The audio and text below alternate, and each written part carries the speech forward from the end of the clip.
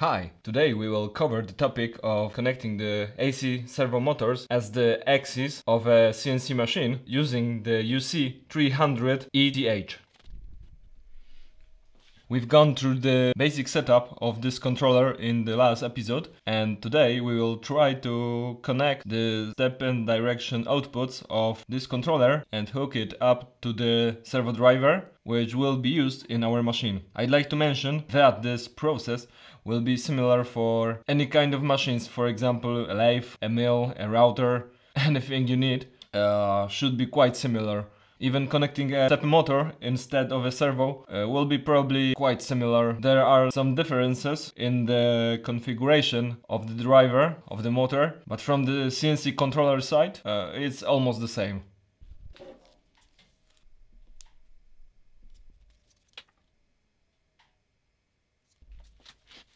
This is the AC servo motor we will be connecting today. It's got a 750 watt power, the maximum speed 3000 rpm, the nominal torque 2.4 newton meter. Being honest, the new cheap uh, AC servos seem to be quite small for such parameters, but uh, we will try to use it in our machine and we will see if it actually has the specs which the manufacturer provides to us. This is the servo driver which drives the motor.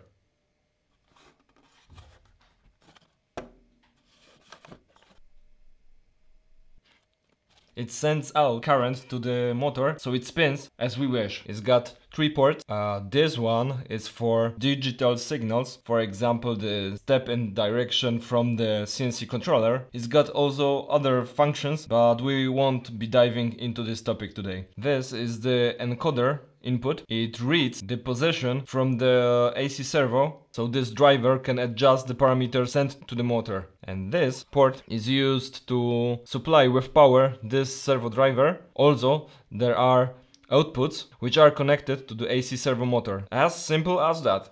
We'll try to connect it now. Let's try to make it work.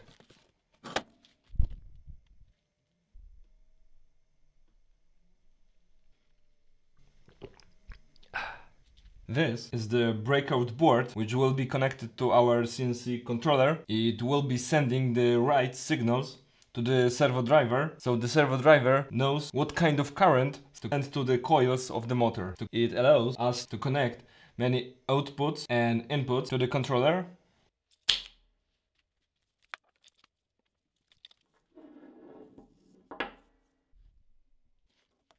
Now the motor got two cables.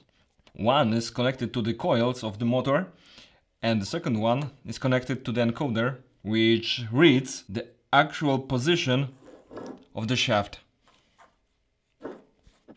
We've got to connect both of these cables to the servo driver.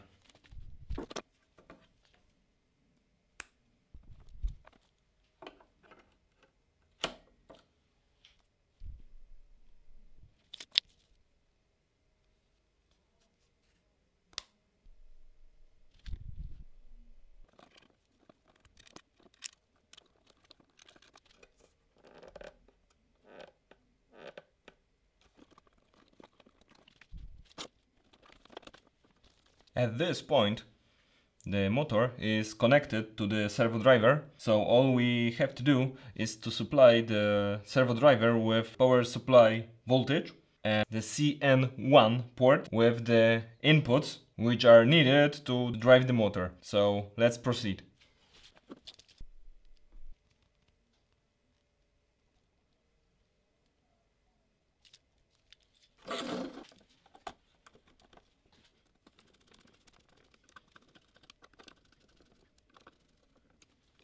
Now I'm going to connect one of the ports from the CNC controller to the breakout. At this point we are going to use just two outputs to drive the step and direction of the servo motor so there's no need to hook up both of the ports.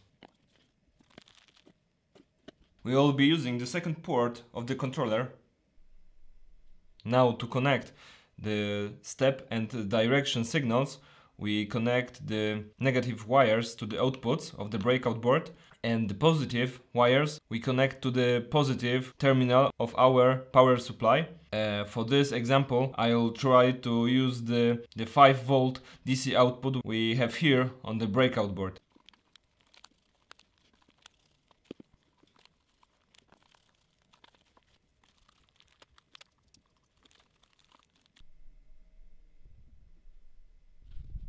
So now we have connected the servo driver inputs, the negative terminals of the direction and pulse signals to the outputs of the breakout board and the positive wires to the 5 volt output of the breakout board together with the wire which powers our CNC controller. I've isolated all the remaining wires to prevent disasters. The last thing we have to do is supplying the power to the servo driver. In this servo drivers, L1 is for live wire and L2 is for neutral. I have no idea why they describe it like this, but well, I've already tested it. Maybe you've seen other videos with this servo set and yeah, it worked like that. So now we have a big mess over here, but I'll try to supply a wiring diagram. Fire in the hole.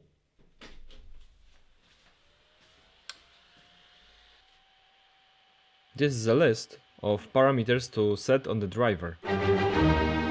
There are motor type parameters and then there are the parameters of the step and direction setup. More details are in my other videos about step-gear servo control.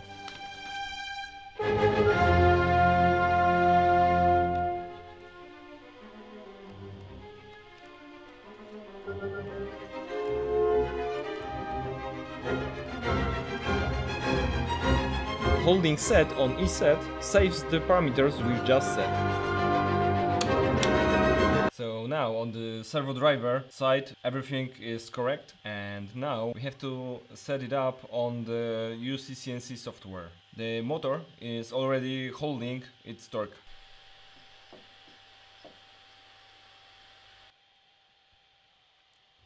Setting here the step and gear, pins and ports. Here I'm correcting the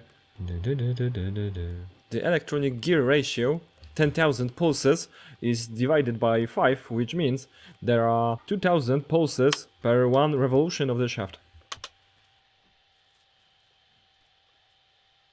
And now the speed.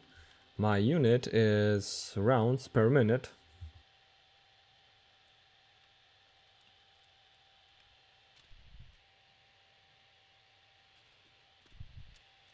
after saving, the speed dropped uh, under the value I set because the kernel frequency was set to low and the controller wouldn't be able to send so many pulses in the unit of time. So now, as we have set already all the parameters in the software and in the servo driver, we can fire in the hole. Sometimes the servo driver and the CNC controller need to be restarted, so all the changes we make to the parameters are accepted. Fire in the hole. Nice.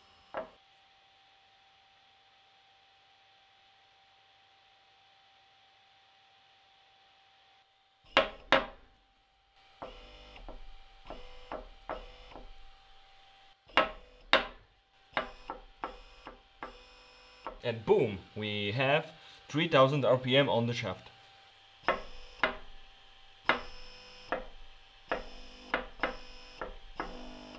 Depending on our mechanical solution of our CNC axis, uh, for example, rack and pinion, ball screw, direct drive, lead screw, timing belt, there are different methods of calculating the pulses per unit, which we define in the UCCNC software all depends on what we have in our machine. For example, on a ball screw, we have uh, 2000 pulses per revolution of the shaft of the motor. For example, 1605 is, uh, is a ball screw with a diameter of uh, 16 millimeters and the pitch of the screw is 5 millimeters. So one round is 2000 pulses and we divided by 5 millimeters which is 400 so we have 400 pulses per one unit which would be for example here uh, 1 millimeter. So 1 millimeter is 400 pulses. So here when we have 3000 rounds per minute maximum uh, speed of the motor we multiply it uh, by 5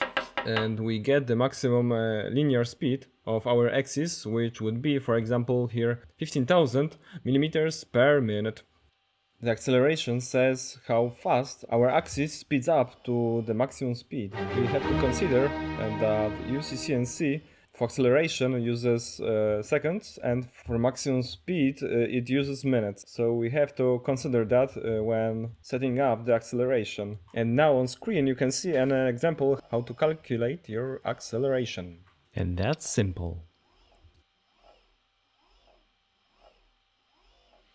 So yeah, this servo motor seems to work. And now uh, depending on how many axes you have in your machine you will have to set up one two three maybe four maybe even six motors. For each motor it uh, will look quite similar. Depends if you have ball screws maybe attached to the motor maybe a rack and pinion. The calculations will look uh, different but it's all the same process. So yeah Thanks for watching and see you next time. I hope. By the way, if you like this video, please subscribe.